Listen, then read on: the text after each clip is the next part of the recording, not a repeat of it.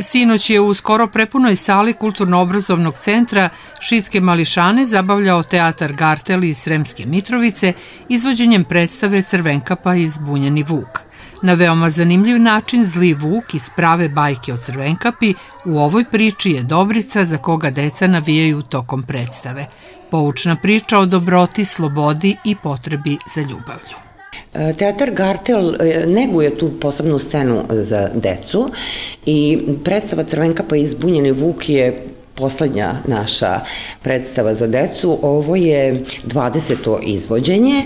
Igrali smo je i u novogodišnjoj verziji, tako da ovaj, tu smo malo iskoristili priliku da je više igramo, obzirom da je korona i da smo malo ometeni jel, time.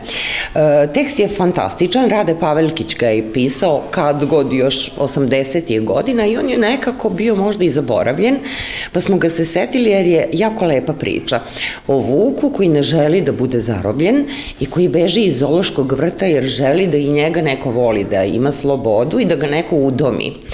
I ovaj, naravno napravi uzbunu u gradu, uzbuni sve pudlice i kučiće u parku i crvenka pa koja ga sretne, a ide kod svoje bake, e, naravno voli životinje i reši da usvoji vuka. I ceo kalambur je oko toga da li će lovac uloviti vuka, da li će super baka udomiti vuka ili će uspeti vuk i crvenka pa da ubede baku uz pomoć dece da e, tog vuka udome i proglase za psa čuvar kuću.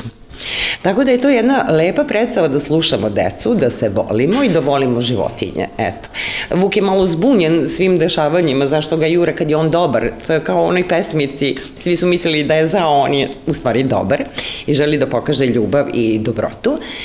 I uh, u ovoj predstavi glumi pet glumaca teatra Gartel. Uh, navešću prvo mlađe snage Nikolina Panić i Nikola Janošević, a od starijih snaga su tu Nataša Sekulić, Aleksandar Krstajić i moje malenkost.